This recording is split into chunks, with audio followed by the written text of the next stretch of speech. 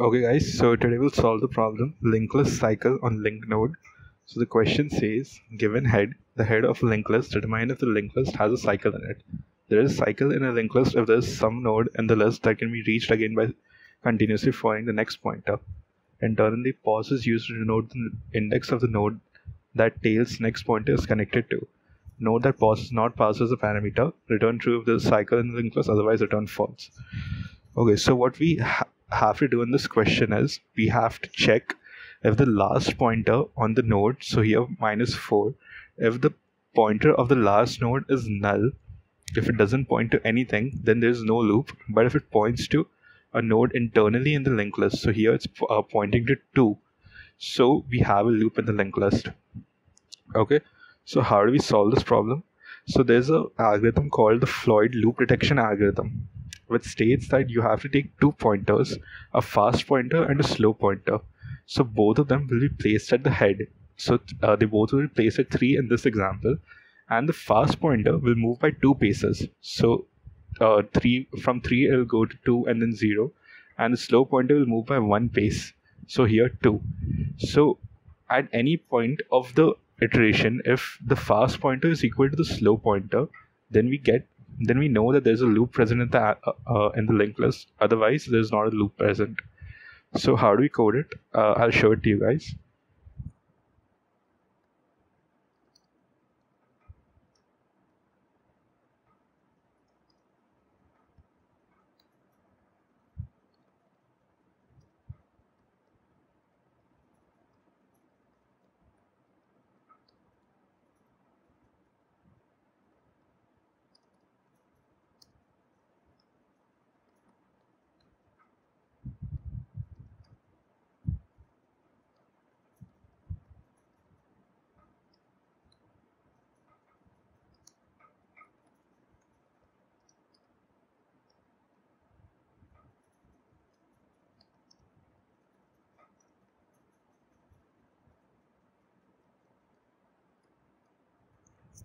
Okay, I'm running it.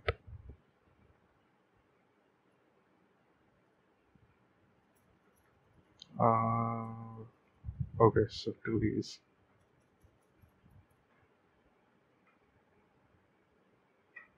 yeah, and submitting it.